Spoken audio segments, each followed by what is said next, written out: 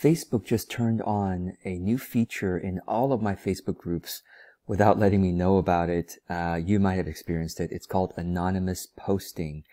And what, what this means is if a member goes into a group and starts to write a post, they can now click on post anonymously and basically nobody else in the group will know who it is except for group admins and moderators.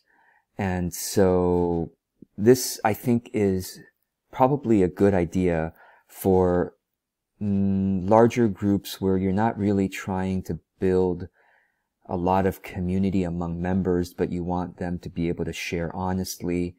Um, you know, so, but in my, in my groups, I actually want members to get to know each other and the friendships that develop, the, the, uh, the sense of, um, collegiality and, and mutual support is really important for people not to post anonymously. So here's how you turn it off.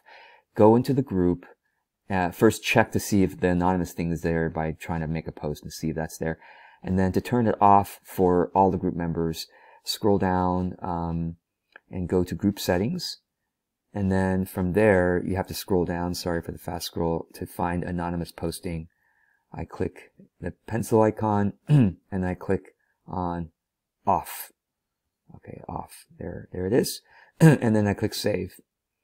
You've turned off anonymous posting. All right. Well, let me now go to, go back to the group. And let me go ahead and try making a posting again. Mm, this is so weird. Anonymous thing is still here. I think maybe I have to refresh this thing. Okay, let me try it again. There it is. Okay, now it's off. So yes, I hope this helps. And uh, yeah, I hope this helps to continue allowing you to build more friendships among your group members.